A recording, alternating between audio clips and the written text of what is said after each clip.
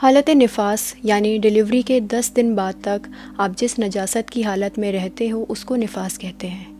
और नफास का गसल आपको डिलीवरी के 10 दिन बाद करना होता है, जिसके बाद आप पाक हो जाती हैं। और आपको बता दें कि अगर किसी औरत को एलेवेंथ डे पर या उसके बाद कितने भी दिन खून आए, ये खून इस्तेहाज़ा का खून शुमार होगा, जिसमें आपको नमाज़ रोज़ा सब करना वाजिब है। और इस्तेहाज़ा के मसलों के लिए आप प्रोफ़ाइल में, हाइलाइट्स में इस्तेहाज़ा की वीडियोस देख सकते हैं। लेकिन बहुत लोगों में एक गलत मसला मशहूर है कि आप 40 दिन तक नजिस रहती हो, जो कि बिल्कुल भी सही मसला नहीं है। और उस गलत मसले की वजह से लोग अपनी एक महीने की इबादत को कज़ा कर देते हैं। यानी आपको इस अमल का गुनाह मिलेगा, क्योंकि जानबूझकर नमाज़ या रोज़ा कज़ा करना हराम है।